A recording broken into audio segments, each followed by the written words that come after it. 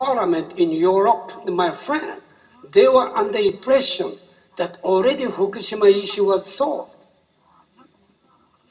And when I talked to your leader as well, they, they surprised to hear what I'm saying to what Bob Alvarez said, what Anu uh, Gundersen said. They're surprised.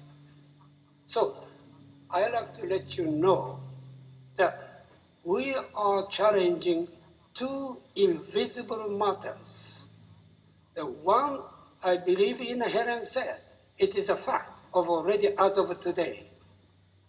Japan cannot escape from the reality that this radiation and children issue another 100 years or 200 years. So many leaders I met were shocked. Number two, this reactor issue. You cannot see the inside issue. So nobody knows. That's why people try to pay attention to policy issue. They forgot it's a potential accident remain now. You are talking policy matter 30 years, 40 years, you have a time. But Fukushima doesn't have a time. That's why I told to all party leaders, and I said one of the cabinet, my answer is to solve this issue, or to improve this issue, is maybe we might depend on military, who are sure they sacrifice as Chernobyl did it. Many military workers die, which keep quiet and silence. But that is a reality. So these are issues I want to let you know. All right. The, uh, this may be the last uh, question. It goes to you and also to Hisako uh, Sakiyama. Uh, are there any legal proceedings for criminal negligence planned in Japan for Dr. Yamashita, for Edano, for Hagano, for TEPCO executives to arrest these traitors who are deceiving the public.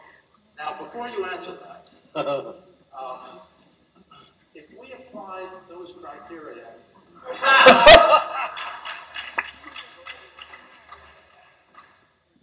we'd indict the entire Congress and the President.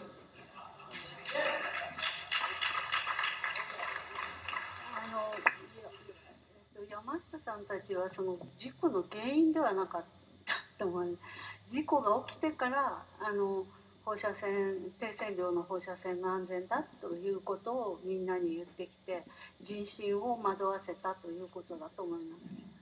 With regard to Dr. Yamashita and the people around him, um, they were not exact cause of the accident, but what they did was they misinformed public saying that the uh, low radiation level is not direct health threat. それであの事故を起こした責任者に対しては今あの裁判があの日本中でいろいろ行われていてたくさん私もその原告になっていますけれども裁判が行われるこれからあの、えー行われると思うんですけど検察がそれをじあの事件として取り上げるかどうかっていうことがまだ決まってなくてなないです。There are a lot of uh, legal accusations uh, uh, popping up all over Japan, and I'm one of them too.